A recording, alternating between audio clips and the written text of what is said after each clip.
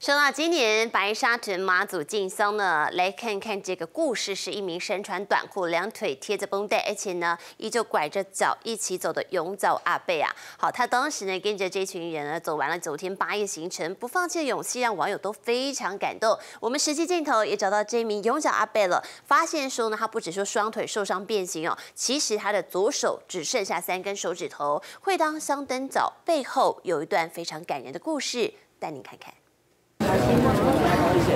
白沙屯妈祖进香，密密麻麻的人群中，这位阿伯一跛一跛，慢慢跟着队伍走，沿途还不断双手合十，祈求妈祖保佑。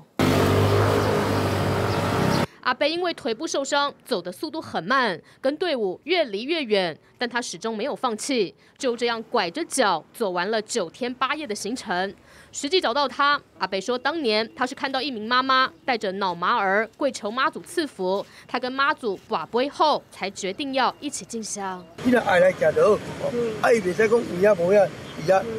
你心里袂使拿身份证有影无影，我爱来行到，所以我才讲好。阿贝说，他十四岁到鞋厂工作，不小心把手指绞断，跟着到货运行又出了车祸，膝盖以下骨头碎裂，差点赔上一条命。今年是他第一次跟着白沙屯妈祖进香，很感谢妈祖给他前进的勇气。接下来他还要跟着南瑶宫还有大甲镇澜宫的妈祖进香。记者林义峰彰化报道。